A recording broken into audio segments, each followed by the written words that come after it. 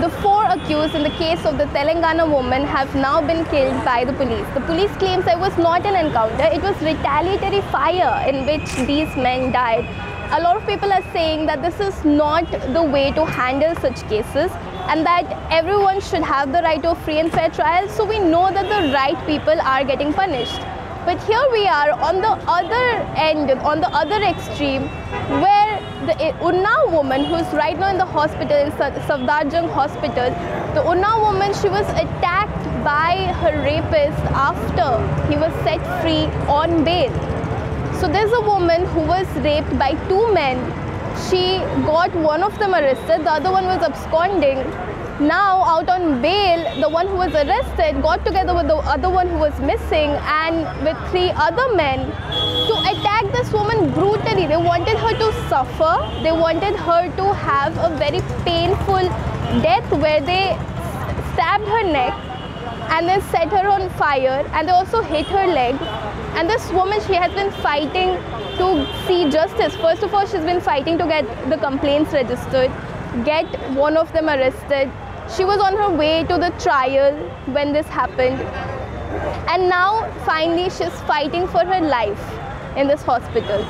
We had the chance to speak to one of her family members, her brother.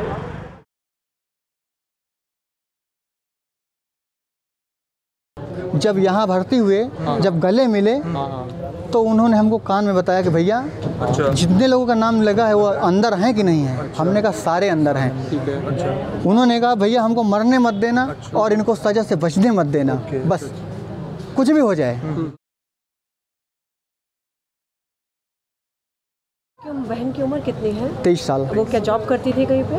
नौकरी करती थी नहीं, नहीं, या पढ़ती थी? पढ़ाई छोड़ के छोड़ दिया थी। बी ए कंप्लीट है। कंप्लीट थी। किया हुआ है। अच्छा। तो कुछ बनने की इच्छा थी मतलब कुछ था कि मैं पुलिस में फार्म डाले थे। पुलिस में। उसके बाद लखनऊ से उसका सारा कुछ आया हुआ था। हाँ। ट्रेनिंग भी हुआ था। वो जो सारे कागजात थे ना वो सब बैग में थे लेकिन ये सब खत्म हो गया है। आपका आशीर्वाद है तो इसी तरह मुस्कुराते हुए निकलेंगे। बस ये मान के चलिए।